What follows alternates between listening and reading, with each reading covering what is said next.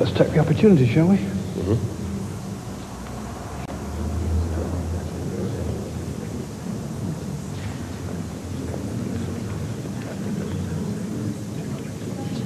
Excuse me, Mr. Finucane. I'm John Stalker. I'm perfectly aware who you are.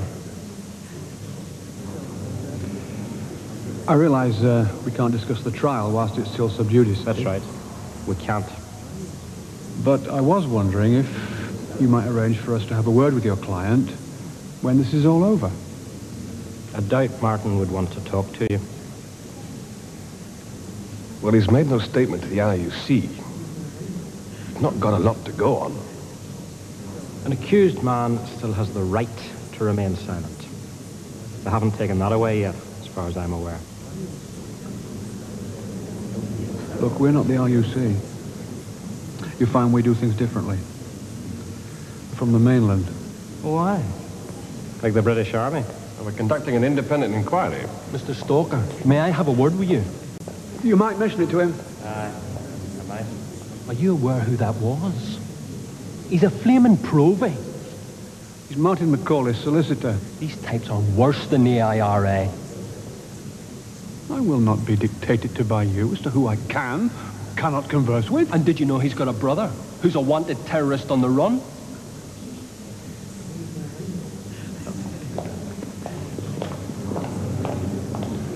I hope you're aware of what embarrassment you've caused the force. Witness White, could you just mark your position on the map at the time you first discharged shots? Here, my lord. And the position of Tighe? You have indicated that he was standing on top of some bales. Yes, sir. And The bales were some five foot high? Approximately that height, sir, yes. And if we take it that the individual was round about five foot seven or eight, that would put his head at some, at least, ten foot in the air? That would be correct, my lord, yes. And was the person pointing a weapon at you? He was, my lord, yes. And if your bullet struck a man who was standing in the position which you described, you would expect the bullet to go in, first of all, from front to back because he was facing you. That would be right, my lord, yes. And you would expect it to go in at a lower angle and at a lower height than it would exit. He would, my lord. I suggest that the young man Tighe was struck twice. And I will produce expert evidence to show that on both occasions, the exit wound was lower than the entrance wound. I know nothing about that, my lord. It would be curious, wouldn't it, if a man were standing high above you? I wouldn't be in a position to say, my lord.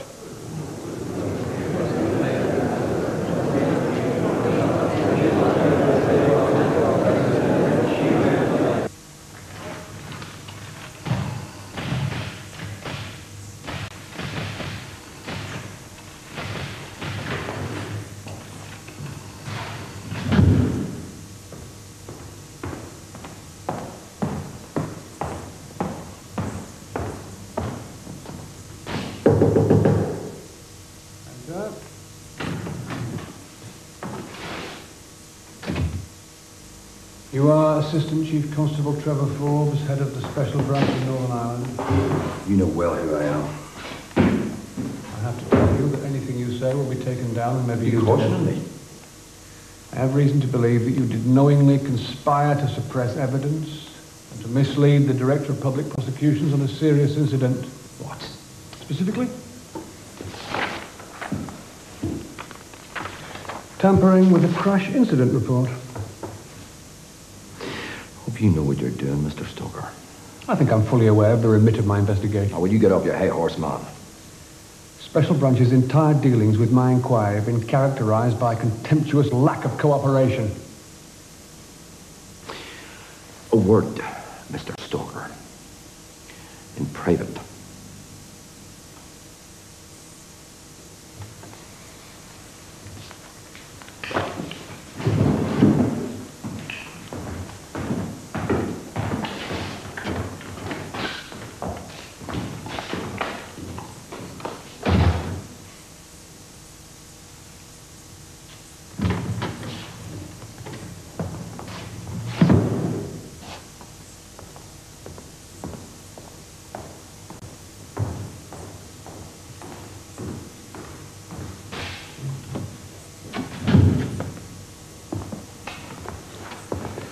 Well, well, well.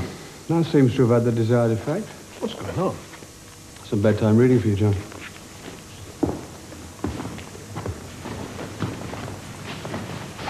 That's the informant's intelligence file. Read, mark, and inwardly digest. I'm going back to see how the trial's progressing. There are some points of clarification I wish to put to the witness. Certainly, my lord. Sergeant X, when you pulled the accused there, he was still conscious, was he? I cannot remember, my lord. He might have been. He was very badly injured, was he? He was, yes, my lord. Did he say anything to you at all? He said no word at all, my lord. Was he moaning or expressing pain? Not that I can recall, no, my lord. And while you were attending to the injured person, did you have any talk with him? No, my lord. Thank you, Mr. Campbell. You've described to his lordship how you opened fire on these occasions. Can you say why you opened fire? I was apprehensive for the safety of my own life and that of my colleagues, my lord. No further questions, my lord. This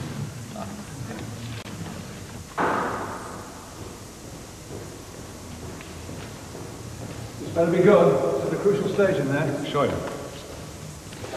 That's from the intelligence files. It's been suitably doctored as usual, but I think they may have missed this. Tighe, I've come to feed the dogs. Septic, what is this? Look at the date. 21st of November, 1982. It's a tape transcript from the hay shed. They must have had a bug in there. Three days before an apparently random shooting. I reckon there was a tape running when Tighe and McCauley were shot, sir. We get hold of that tape. We could prove once and for all whether our friends in there are perjuring themselves. We'll go and see the DPP. We've got to get this trial stopped.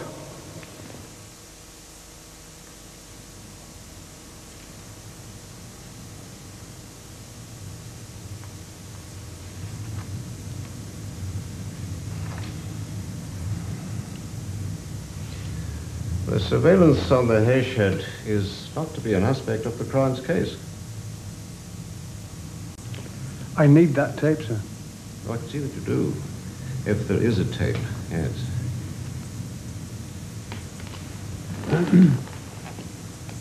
If it was running at the time of the shootings, it would prove once and for all whether a warning was shouted. McCauley told his doctor that I stood over him discussing whether to finish him off. But if that's on the tape, that's dynamite. Yes, yes. If, if.